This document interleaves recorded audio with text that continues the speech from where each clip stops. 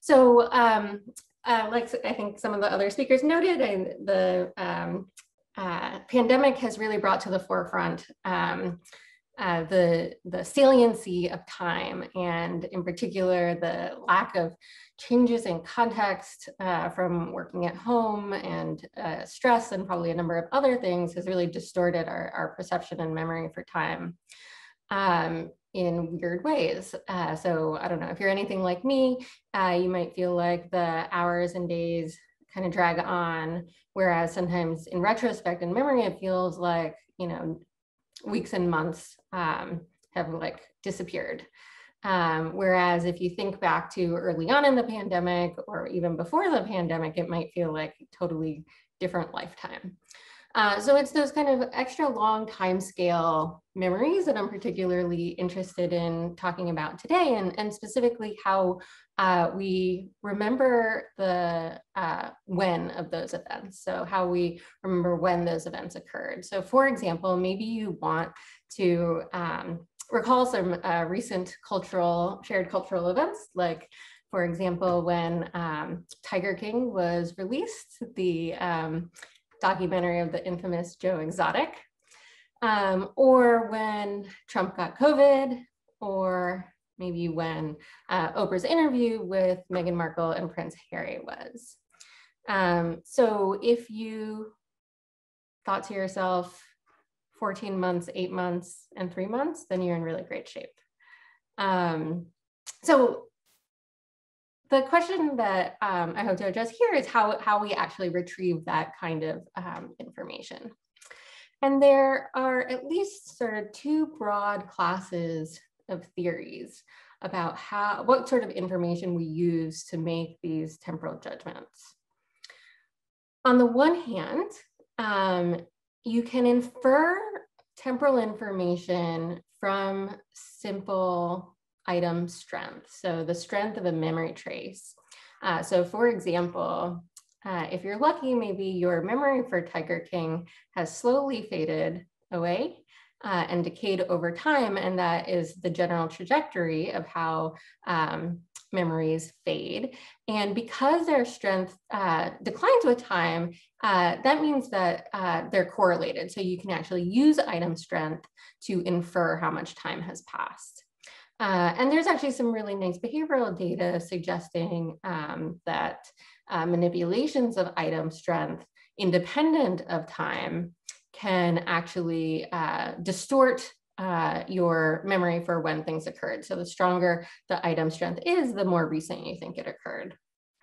Um, but you might want a temporal representation that's a little bit more precise or, or uh, kind of separable from this um, item strength account.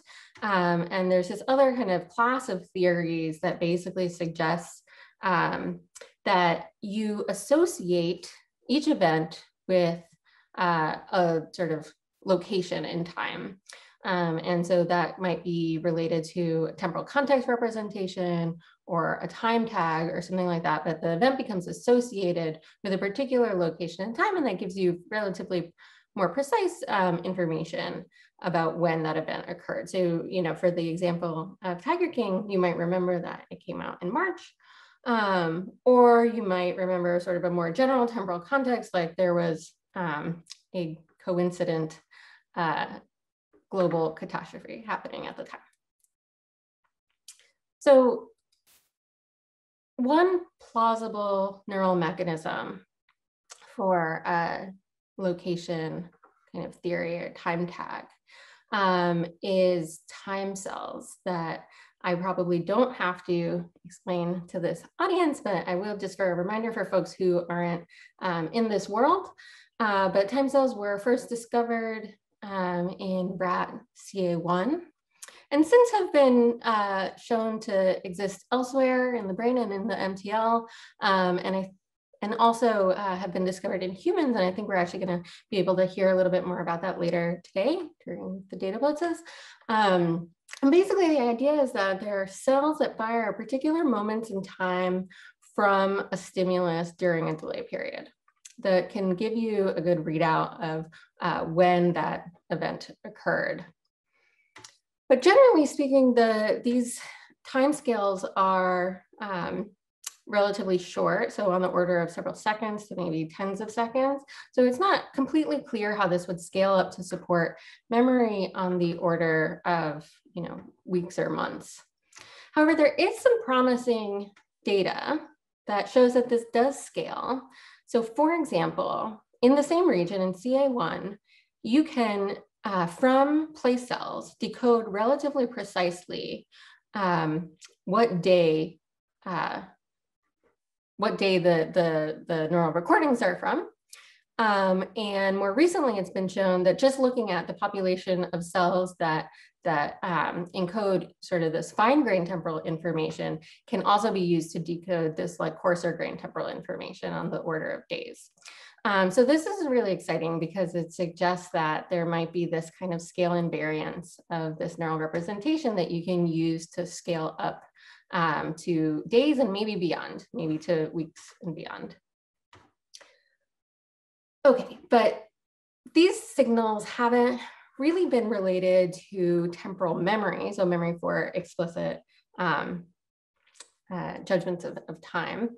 Um, the temporal memory literature is has focused largely on uh, memory for, for temporal information on the order of seconds, maybe tens of seconds, basically trial level. Um, although there are a handful of studies that have expanded um, that to uh, you know longer time scales. So in particular, memory for time, on the order of tens of minutes up to an hour. So I'll just uh, mention a couple. Um, so uh, in this study, the authors found that the hippocamp hippocampal activation was associated with encoding temporal information um, that was associated with accuracy in coarse temporal memory, so on the order of an, an, experimental session. And more recent data from Mike Yassa's group has shown that at retrieval, increased activation in the hippocampus is associated with higher temporal memory precision, again on the order of like an experimental session. Um, and interestingly, this effect is not only seen in hippocampus, but also in entorhinal and perirhinal cortices. Okay, but these timescales are still, uh, although they're longer, they're still uh, relatively short. And what we really wanted to know um, was how do we remember when events occurred across much longer timescales, in this case from weeks to months. And we were really lucky uh, to have access to a data set that allowed us to ask that question. Um, so that data set uh, is called the natural scenes data set. And I just wanna acknowledge the folks who uh, collected that data, conceptualized the experiment and all of it, uh, Kendrick Kay, Thomas Naselaris, Emily Allen, and Yihan Wu from the University of Minnesota. Um, and I flagged uh, the website here in case you're interested in learning more about it. The uh, data set is going to be coming public um, by the end of the year, probably in a couple of months. So if folks are interested, I definitely recommend that you check it out. Um, so basically what they were interested in is bridging models of uh, vision neuroscience to computer vision. And so what they needed was um, a lot of data um, and they chose to go the kind of massive sampling of relatively few subjects approach that uh, Arielle Tambini talked about earlier. Um, so the experiment looked something like this. There were um, eight subjects that were scanned across eight to 10 months um, and 30 to 40 sessions. So they were scanned approximately uh, once a week, although there was variability in that. Um, and they were exposed to 10,000 images across that time frame. And each image was repeated three times. Um, and you know the reason that they did this was um, so that they could uh, you know build these models of, of uh, neurally informed computer vision. And um, so they needed tons of images and repetitions, but they also needed a cover task. And so my collaborator, um, Ben Hutchinson, uh, was able to convince them because they have repetitions and because they needed people to stay awake to basically turn the cover task into a memory task, which is very fortunate for all of us who care about memory. So across, um, uh, so, all, so the entire time they were seeing these images, they were performing a continuous recognition task. So just the simple old new, have you seen this image before? Yes or no?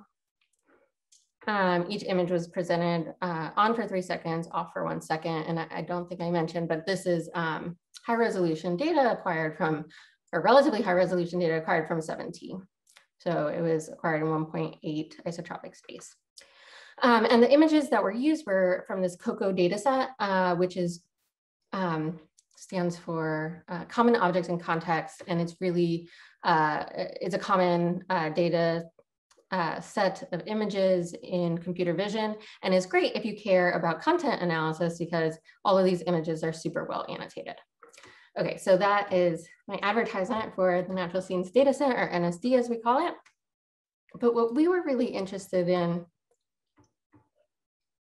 was the final memory test. So we uh, were able to bring participants back um, for a behavioral session. We didn't have a lot of time with them, uh, but we were able to um, give them a final memory test on 320 images, um, where we asked for every image. So like this surfer dude, have you seen this image before? Um, on a six point scale this time rather than simple old new. How many times did you see this image? They were always seen three times, remember? And when was the first time that you saw that image? And this is, we're particularly interested in the temporal memory test, and we'll, I'll talk a little bit about the recognition test as well. And I'm not gonna show data from the frequency test. Even though they were all presented three times, not a single subject performed above chance on this, which is kind of surprising. Uh, but I think it was just um, a lot of bias in that. Okay, so this is a example trajectory of an image that um, they might encounter. So uh, for the surfer, this is uh, taken, this is real data uh, or a real um, sequence. Uh, the first time they see the image might be in session 15, day 105. The second time they see it might be you know, 15 sessions later, then see the last time on session 34, and finally do the memory test um, at the end, uh, after all the scanning has happened, day 269. So as, as an example, we're really asking them to remember when they saw it over very long time scales. So it's over 100 days, uh, several months. Okay, so first I'm going to show you the recognition memory data. Um, and, uh, you know, this is just showing the hit rate, so old responses to old images and false alarm rate old responses to new images, um, just to show you that this is uh, this performance was significantly above chance uh, across all subjects. And, you know, at these time scales, I think this is still pretty impressive. Um, as expected, that uh, sensitivity scales with confidence. Um, and what I want to show you is the effect of lag on recognition. Um, and I'll just show you uh, the data first and walk you through what the lags refer to or what they mean. So here we have um, the four different lags. Lag zero is just um, how long in the experiment is the first time that you saw it, how, how far into the experiment.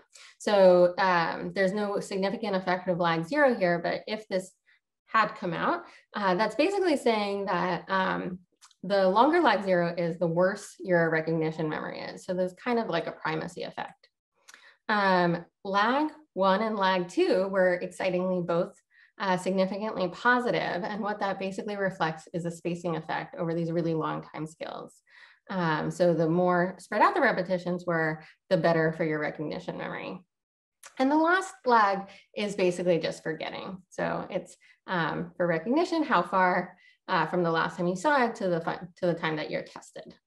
Uh, so there's a strong effect of forgetting there. And I like this graph just because it um, shows kind of all these classic memory effects in one.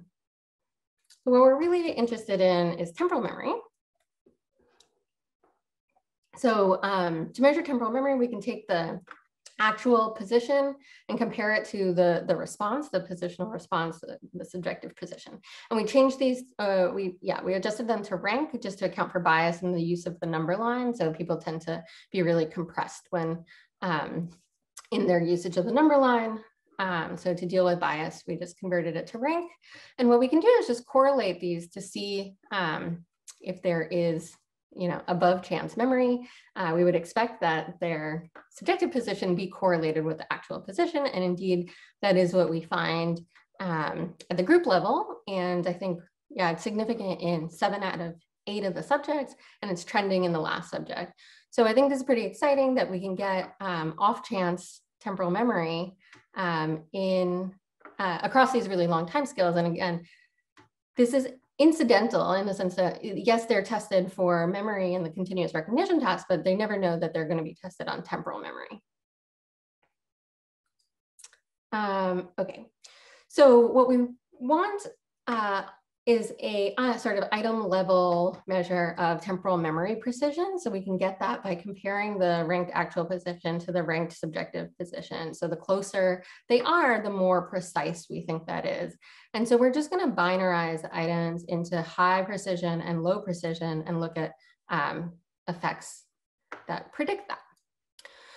So showing the um, same lag effects on temporal memory, um, here, what we see is a strong recency effect. So the longer lag zero is, um, the better for temporal memory. So uh, that kind of makes sense because it's basically saying the later in the experiment you saw it the, for the first time, the better your memory for when you saw it the first time is, right? Uh, but interestingly, there were um, there's no effect of spacing, and um, there's not really an effect of the last lag from repetition to final memory, which is nice because it suggests that people were really able to uh, hone in more on that um, first repetition, which is what we're asking temporal memory for. Okay, so turning to the neural data, we're interested um, in whether there was uh, encoding retrieval similarity or repetition to repetition similarity that predicted temporal memory. Okay, um, so as a first pass, we just um, you uh, took the average similarity from each uh, pair, uh, so each pairwise correlation, and split that into high and low temporal memory precision. And we focused in on MTL, and this is what we found. So um, we were excited because the um, CA1 showed significantly higher uh, pattern similarity for high precision versus low precision items. And so did the entorhinal cortex. The CA2-3DG uh, showed a trending effect, but it didn't survive multiple comparisons correction.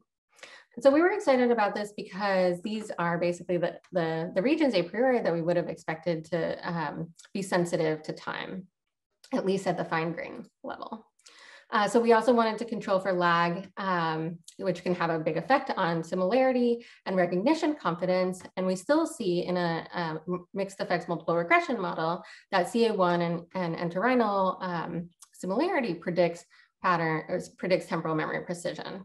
Importantly, this is not what we see for recognition memory. Um, so parahippocampal cortex um, uh, is the only region that we see where pattern similarity predicts recognition memory. Um, we can also break this down by repetition, and I'll just show this really quickly. The R1, R2 uh, similarity seems to be driving this effect, which is consistent with the idea that you're kind of reinstating um, uh, temporal information from the first repetition. And super quickly, um, this is item specific if we um, sort of control for similarity between really well matched items, we still see a significant effect uh, for CA1 predicting temporal memory precision and a marginal effect for entorhinal.